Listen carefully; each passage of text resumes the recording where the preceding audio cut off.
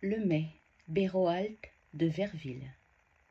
Maintenant que l'amour renaît heureusement, et qu'à ce beau printemps il commande qu'on plante, d'un long et dressé la désirable plante, il faut suivre l'arrêt de son commandement. J'ai un mai long et gros et fort également, poussant de vers le haut une verdure plaisante, qui frisonne sa cime en tout temps verdoyante, et qui se peut planter assez facilement. Madame, permettez que l'on m'ouvre la porte et je le planterai sur la petite motte qui de votre maison remarque le milieu.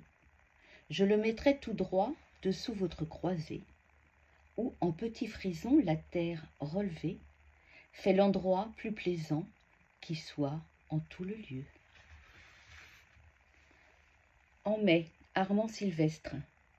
Dans la tiède haleine des fleurs, le printemps passe par bouffées, rodant l'aile aux mille couleurs des libellules et des fées.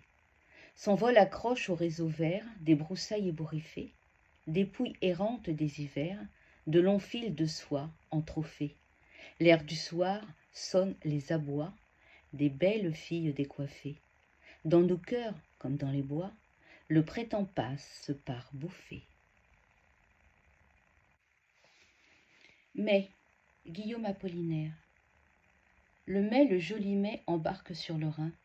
Des dames regardaient du haut de la montagne. Vous êtes si jolie, mais la barque s'éloigne.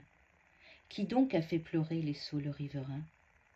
Hors des vergers fleuris se figeaient en arrière les pétales tombés des cerisiers de mai.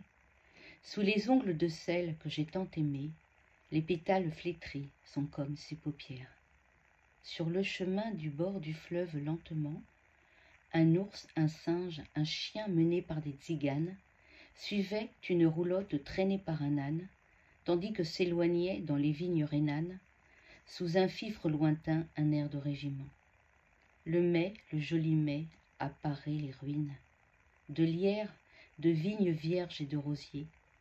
Le vent du Rhin secoue sur le bord les osiers, et les roseaux jaseurs et les fleurs nues des vignes.